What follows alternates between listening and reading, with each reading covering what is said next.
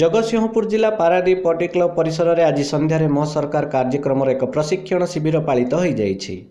ଏହି ଶିବିରରେ ଜିଲ୍ଲାର ଆରକ୍ଷୀ ଅଧୀକ୍ଷକ ପାରାଦ୍ୱୀପ ଅତିରିକ୍ତ ଆରକ୍ଷୀ ଅଧୀକ୍ଷକ ବିଷ୍ଣୁଚରଣ ମିଶ୍ର ଜଗତସିଂହପୁର ଡିଆଇଜି ଡିଏସ୍ପି ଯୋଗ ଦେଇଥିବା ବେଳେ ପାରାଦ୍ୱୀପର ସମସ୍ତ ଥାନାର ପୋଲିସ କର୍ମଚାରୀମାନେ ମଧ୍ୟ ଯୋଗ ଦେଇଥିଲେ। ଆସନ୍ତା ଅକ୍ଟୋବର ଦୁଇ ତାରିଖରୁ ମାନୁଆଲ ଏତଲା ପଞ୍ଜୀକରଣ ବନ୍ଦ କରାଯାଇ ସ୍ୱତନ୍ତ୍ର ଅନଲାଇନ୍ ଯୋଗେ ହେବାକୁ ଯାଉଥିବା ବେଳେ କିଭଳି ଏଥିରେ ଏତଲାକାରୀମାନଙ୍କୁ ଉତ୍ତମ ବ୍ୟବହାର ଶୀଘ୍ର ନ୍ୟାୟ ପ୍ରକ୍ରିୟା ଆରମ୍ଭ ତ୍ୱରିତ କାର୍ଯ୍ୟାନୁଷ୍ଠାନ ଆଦି ବିଷୟରେ ଧ୍ୟାନ ଦେବାକୁ ପଡ଼ିବ ସେ ବିଷୟରେ ଅବଗତ କରାଯାଇଥିଲା।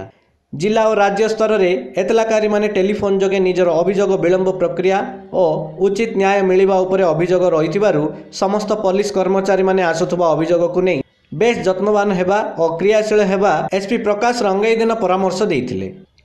ଏହି ମୋ ସରକାର କାର୍ଯ୍ୟକ୍ରମ ଫଳରେ ପୋଲିସ କିଭଳି ସାଧାରଣ ଲୋକଙ୍କର ଅଧିକ ଆସ୍ଥାଭାଜନ ହୋଇପାରିବ ଏ ନେଇ ସମସ୍ତ ନିଜ ନିଜ ଥାନାରେ ଦାୟିତ୍ୱବାନ ହେବାକୁ ଏସ୍ପି ମଧ୍ୟ ପରାମର୍ଶ ଦେଇଥିଲେ।